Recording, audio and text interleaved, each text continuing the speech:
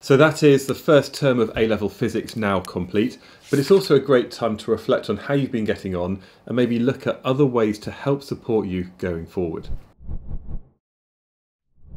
I've made thousands of resources to help people just like you as they prepare for A-level physics, and also being a past teacher myself, these are the kind of things that I would share with my own students. The first one is Isaac Physics, which is a platform that many of you may well be familiar with. So Isaac Physics, it's run by the University of Cambridge. It's a massive project. There's lots of amazing people who work there behind the scenes, and it basically is completely free for you to use. You can go there, you can make an account, and when you attempt physics questions, it self-marks and also records your progress. And in actual fact, now they're doing it for A-level maths, they're supporting biology and chemistry as well. So many of the other subjects you're going to be doing alongside A-level physics.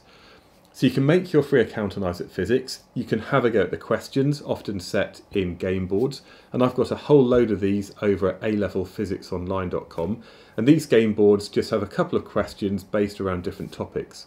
Some of you might have seen this book that Isaac Physics have produced. You can buy your own copy for about a pound plus postage. Um, and this is a great way for you to just work through question after question after question to master the basics. And of course, the further you look into Isaac Physics, the more support you'll find there. There's more questions, but also they often do masterclasses and workshops throughout the year.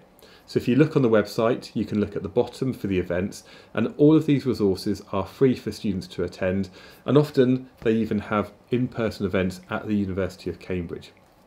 So I do feel, and I did this with my own students when I was teaching, I feel that Isaac Physics is something which is tricky initially to get your head around, but once you're used to the way the platform works, it's immensely valuable. And it's the kind of thing that if you do lots and lots of Isaac Physics questions, that will really prepare you for your real A-level physics exams.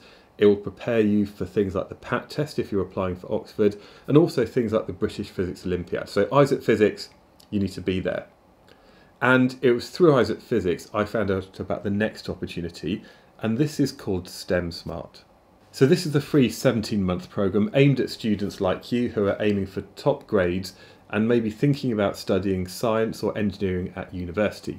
It's run by the University of Cambridge and over 17 months there are three phases. The first one is going to be some online support. So there's going to be weekly group lectures. There are going to be seminars where you've got mentors who are actually Cambridge students at the moment. And that means you can speak to somebody just a couple of years older than you who's probably going down the same path and they know what it's like to have been doing A-level physics recently. The next phase, phase two, includes uh, residential at the University of Cambridge in the summer. Uh, and I think there's going to be opportunities there to do many more questions, often using things like Isaac Physics. Phase three is very much more of a, a focus on UCAS applications and also preparing for your final exams.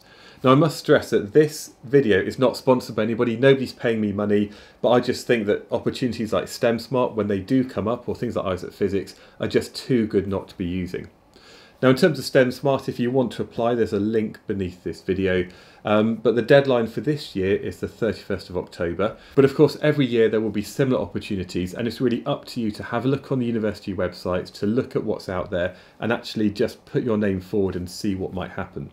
While STEM Smart provides this one-to-one -one individual personal support, A-levelphysicsonline.com provides resources that you can access at any time. There are hundreds of videos that explain every aspect of A-level physics, plus additional resources that you can download. As well as this, I also have a weekly newsletter where I include activities like STEM Smart and other things that I find out about throughout the year. To become part of this community with this free weekly newsletter and these free resources, then simply scan the QR code or click on the link in the description beneath the video. Don't forget, if you do want to apply for STEM Smart this year, the applications finish on the 31st of October. More information beneath the video.